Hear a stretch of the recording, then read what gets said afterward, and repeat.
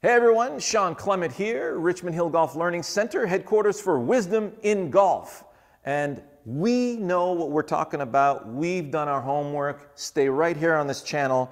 I'm going to show you how to hit a driver beautifully in the center of the club face, beautifully straight with your feet together. An amazing drill. Stay tuned.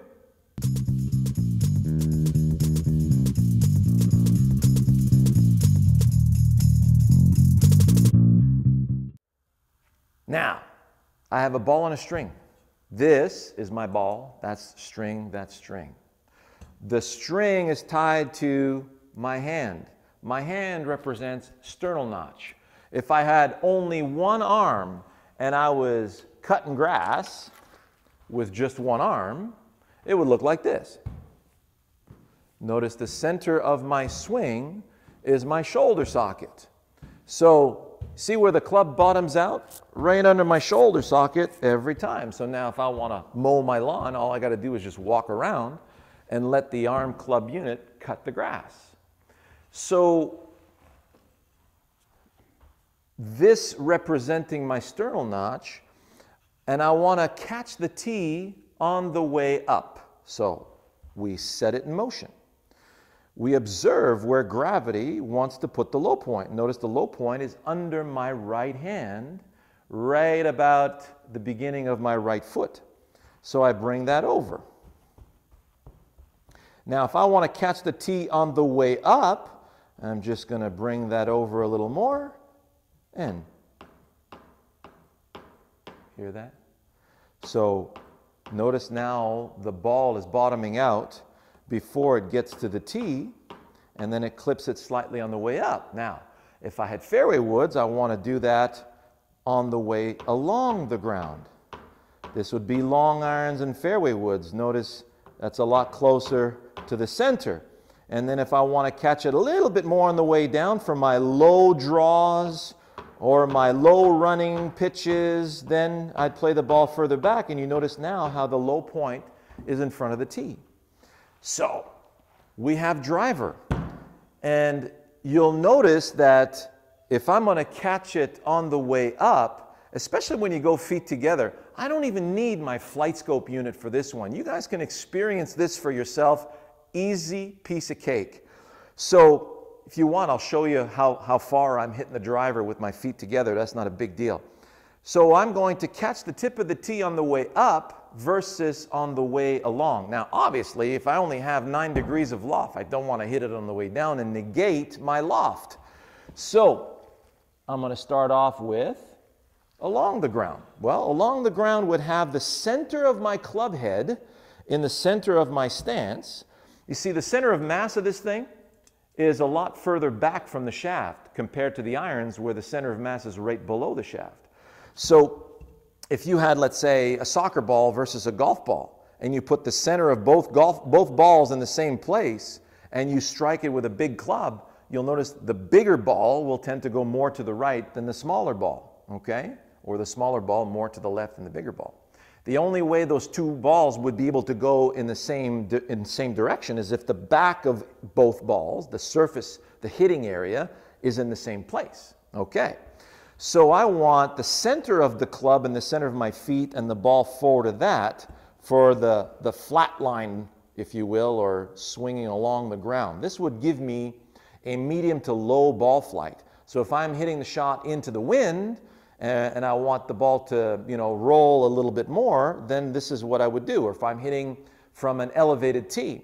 So now I have my ball in a string. There's the center of my swing. I'm just going to do a couple of practice swings here to show you. And watch the blur of the club as it swings. Notice it's clipping the tip of the tee and it's swinging nice and along the surface, about that far above the surface at the tip of the tee. So I'm looking for, here's a, a great visual here. See? I use white tees. There's the tip of the tee. And if I clip the tip of the tee with the sole of the club, the ball is going to meet the center of the club face. Okay? So I see where gravity wants to put me. I can see the blur. I bring the machine. Now it feels like the blur is going to go through the tip of the tee. My eyes are on the tee, not on the ball. So I am picturing and I'm feeling how gravity and the g forces of the swing are tracking my ball on a string. And I'm allowing that to clip through the tip of the tee. And that was spot on right in the center of the club face. Let me do one more for you. Center of club in the center of my feet. Gather. Let it swing through. Okay? So gather. Let it swing through. So we're going to open up the range of motion a little bit more. So I want to catch this on the way up now. I'm going to see the blur of the club where it bottoms out. It's bottoming out about there, bring it over. Now, all I got to do is let the ball in a string release or, or track around the arc, and I'm going to let it clip the tip of the tee on the way up. And I'm just going to stay in that sensation back and through. It's on the way up, still on the way up, still on the way up, Still on the way up. Yep, feels like I'm going to catch it slightly on the way up, back and through. Got it? Got it. So launch angle was a lot better on that one. It's launching higher, it'll tend to go farther when you do that. And when you do it feet together on the range, you'll realize that, yeah, you're getting a lot more distance in carry when you're catching it on the way up.